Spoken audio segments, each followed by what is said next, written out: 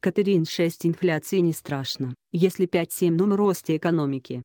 Триллион рублей в год, который платит бизнес, неизвестно на что тратится уже много лет. Навести порядок в этом не удается 4 года.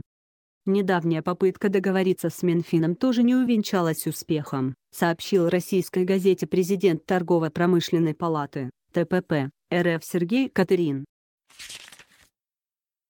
Бизнес уверяет, что хороший рост экономики начинается с кредитов по 7%, а лучше с 5%. Фото – Александр Корольков. И рассказал о тройном кольце проверок бизнеса, действующих законах времен Совета комиссаров и о необходимости расширить функции Центробанка. Но начали мы наш разговор с профессией будущего. А креатив давать обязан. Отшумели выпускные балы. Бывшие школьники выбирают профессию. На ваш взгляд, Сергей Николаевич, на что сейчас ребята должны настраиваться? Когда-то в экономисты рвались, в юристы. Потом все в инженеры пошли. Сергей Катерин, потом еще не наступило, не все в инженеры пошли. Но тенденция есть, вы правы. В технические вузы конкурс заметно повысился. Для новых налогов в ТПП предлагают на 10 лет освободить бизнес от уголовной ответственности и в два раза на пять лет снизить штрафные санкции. Что в будущем? В мире все больше в силу цифровизации, роботизации человеческие ресурсы переводятся в сферу обслуживания. Сервис вот самое перспективное на долгие годы. Он будет расширяться, причем по всем отраслям. Обслуживание человека, техники, роботов, компьютеров, дорог. Всего. В Японии уже большая часть работников занята в сфере услуг, а не в производстве. И мы к этому неизбежно придем. Но какую бы профессию человек не выбрал, везде очень востребованными будут креативные специалисты. И руководители, и исполнители. Мало просто иметь знания, навыки и быть профессионалом массам. Необходимо постоянно искать новые решения, развивать и себя, и дело, которому служишь.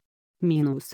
Матвиенко, эскроу счета не должны создавать проблем малому бизнесу. Второе. Наша экономика все больше становится частью мировой. Нужно знать иностранные языки, чтобы общаться с коллегами. Мы были на Всемирном форуме торговых палат, там огромное количество россиян. Я думал, это иммигранты новой волны. Говорят, нет, приехали работать в майнинге, в угледобыче и так далее. Приезжают с семьями. Поработают, возвращаются в Россию. Бизнесу опять много легче, труднее сегодня вести свое дело в России, больше, меньше бизнес дает экономике, чем несколько лет назад. Сергей Катерин, мы, конечно, развиваемся.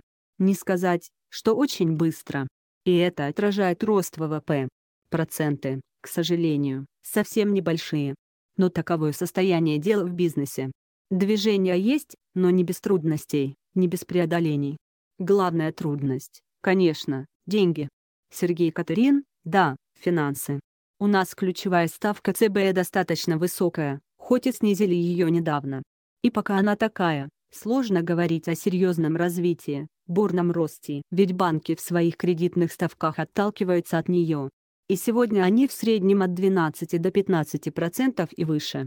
А инвестирование начинается примерно при 7%. Если до 5% спускается, то уже идет бурное развитие. При нынешних банковских ставках какое-то промышленное производство, инновационное маловероятно. Еще для торгового капитала это допустимо, он оборачивается быстро.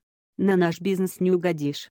Лет 10 назад, когда ставки были 25-26%, говорили, ой, нам хоть бы 10%.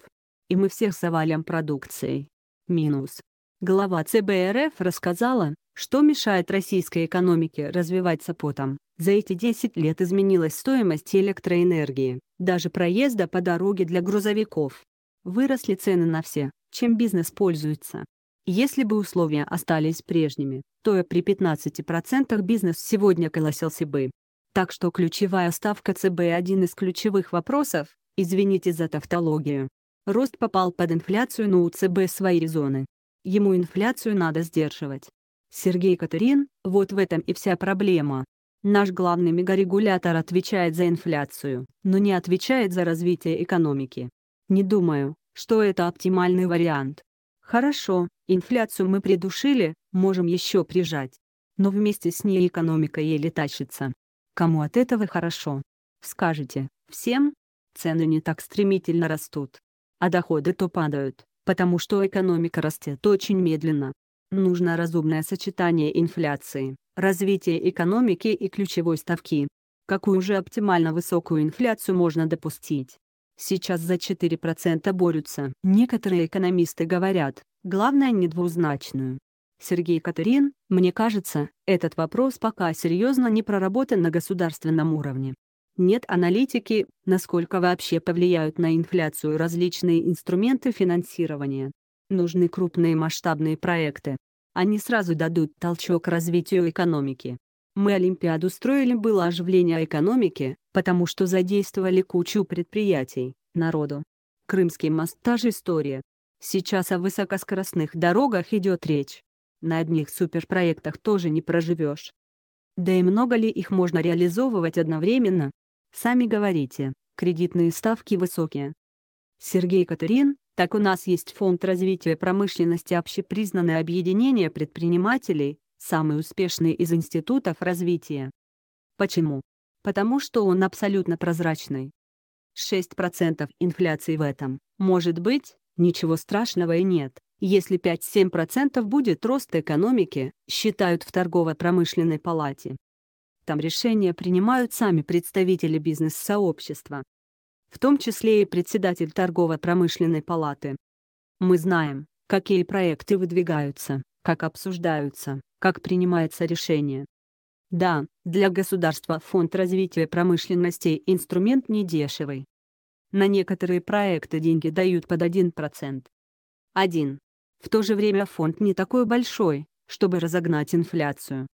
Понимаете, есть инструменты, которые не критично действуют на инфляцию, и их достаточно много, чтобы более активно использовать ресурсы, которые есть у страны, все в одни руки. И что мешает активировать эти инструменты? Сергей Катерин и инфляцией, и ростом экономики должен заниматься кто-то один-один институт.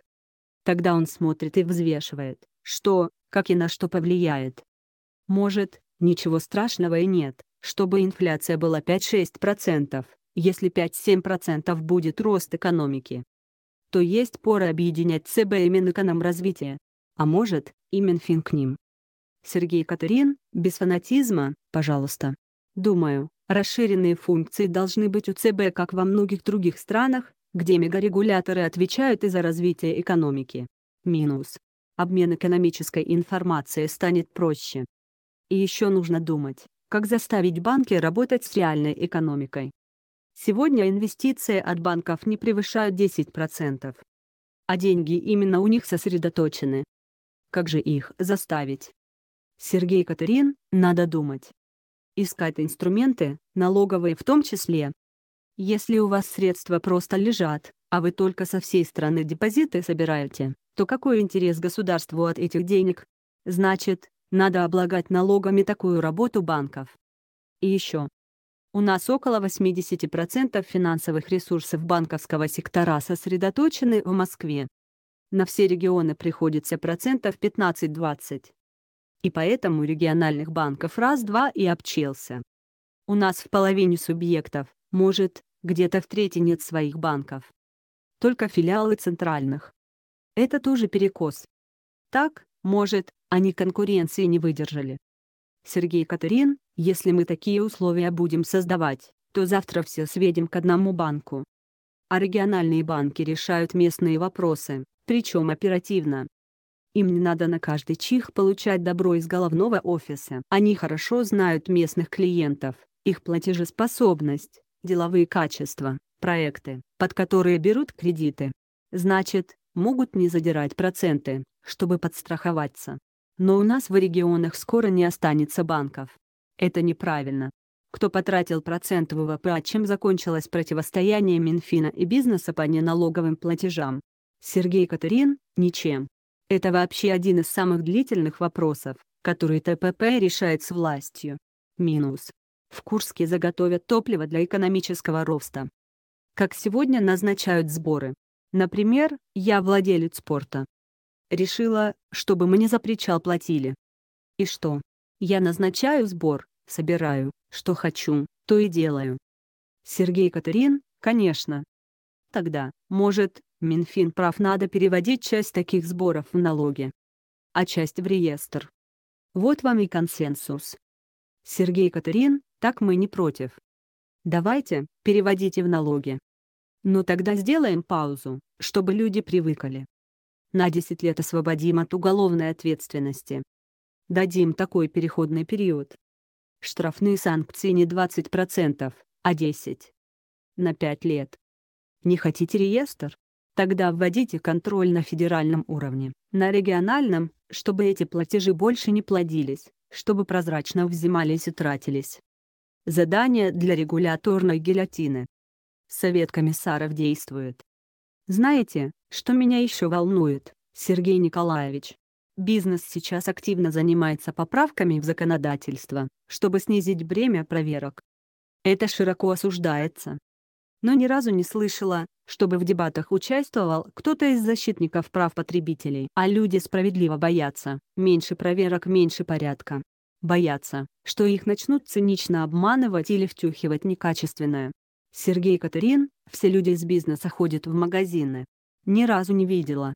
Может, не в те магазины хожу. Сергей Катерин не стоит иронизировать. Они же не с Марса получают продукты и едят. Я полагаю, что в одни и те же магазины моя супруга ходят и вы. И никто не враг себе и своей семье. Впрочем, первое и главное, о чем мы говорим, это даже не магазины, не сфера активного потребления.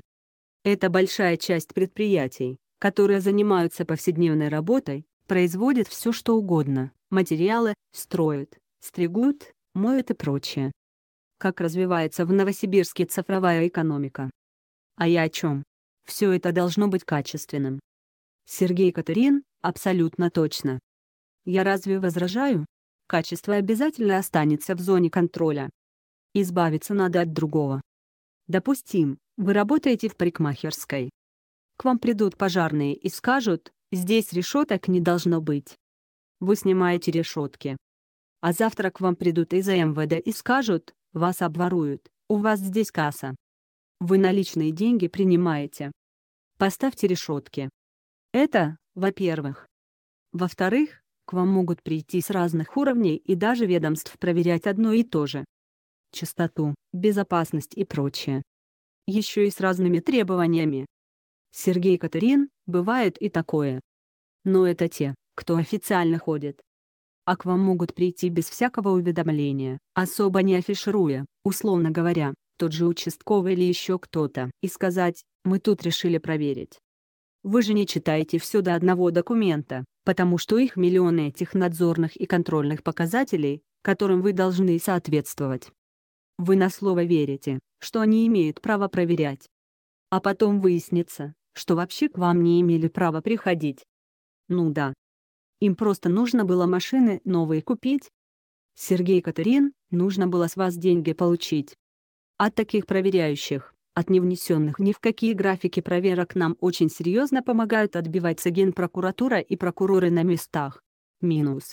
Глава Киргизии призвал модернизировать экономику и страну. Сергей Катерин, 4 анахронизм норм. Мы тут готовились к круглому столу по пожарным, проводили его в Туле. Посмотрели, какими документами они руководствуются. Нашли действующий сегодня свод правил по противопожарной безопасности в кинотеатрах, утвержденный еще Советом народных комиссаров. И с юридической точки зрения вы должны соответствовать этим требованиям. Сейчас массу советских норм отменили. Но накопились новые. Многие из них тоже устарели поменялись технологии, материалы и прочее.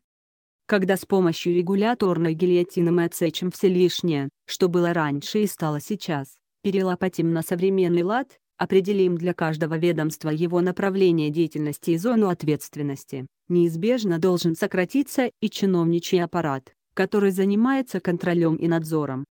Следовательно, и затраты государства на содержание такого аппарата, и самое главное это экономически облегчит жизнь бизнесу. Потому что каждая проверка – куча времени, которое должен посвятить ей не только руководитель, но и его сотрудники, а время, как бы банально это ни звучало, деньги. Но есть и пятая проблема – бюрократия. Куча отчетности по разным направлениям. На наш взгляд, там достаточно много того, что можно упростить без каких-то потерь для государства. Экономика, макроэкономика, госфонды и контрольные органы, Центральный банк фонды, Ассоциации и Союзы торгово-промышленная палата России.